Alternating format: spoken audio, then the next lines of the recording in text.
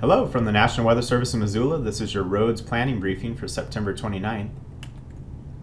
Looking at the weather threat matrix, first concern would be some lingering snow showers on Monday and also the potential for wet roads to refreeze on Monday morning. Relatively quiet week, cool and dry, with the next chance for light to moderate mountain pass snow being late Thursday into Friday. So we'll look at this forecast model here. It's precipitation forecast beginning this afternoon and then continuing into Monday.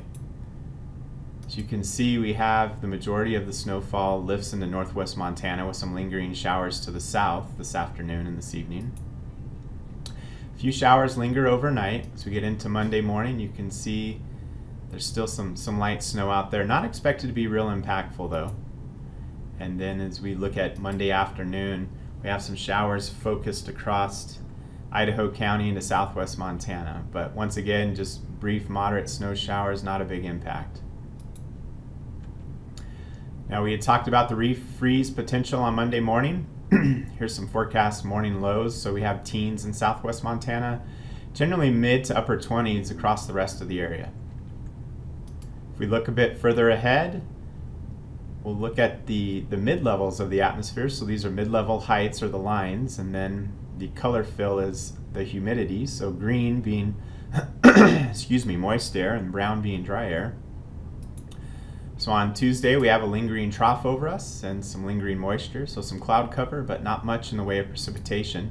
So we go into Wednesday, we have a ridge of high pressure passes over quickly with, with dry air, and then as we get into Thursday into Friday, you can see another trough from the northwest, bringing moisture, clouds, and a chance of uh, some mountain pass snowfall. Certainly doesn't look to be a big system, but could could lay down a, a few inches of snow for the uh, the mountains and the mountain passes.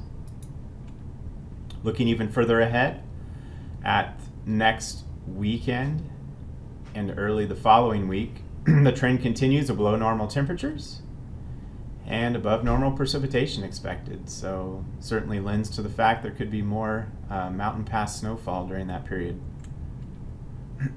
well, the next briefing is, a, is uh, scheduled for October 1st. Um, thank you for listening and have a good day.